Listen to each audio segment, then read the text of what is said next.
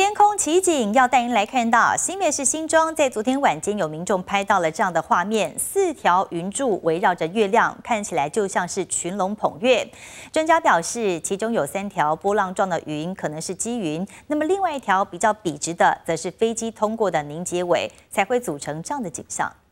皎洁明月高挂，周边仿佛还有四条云龙冲天，罕见的奇特景象就在十四号晚间，新北市新庄地区有民众抬头惊见这个景象，赶紧拿手机捕捉画面。仔细看看，至少有四条云柱围绕着月亮，就像群龙捧月。照片曝光后引发热议，还有新北市板桥地区的民众也拍到这张巨龙伴月。专家解释，出现这样的景象跟最近的大气环境有关。台湾位于一个很大的一个低压。好，所以很容易产生一些对流，积云产生往垂直走的云，然后旁边会有一些那个波浪状，就是像左边那三只所谓的龙，右边是一条直状的，那我觉得它就是所谓的临结尾。特别是在午后雷阵雨下过之后的天空哦，在云朵上面的分布情况是会比较混乱的。近期台湾处于大低压带中，天气不稳定。周六以前，中部以北各地山区午后都可能会有局部大雨或是豪雨，南部受到西南风影响，整日也会有一波一波的。的阵雨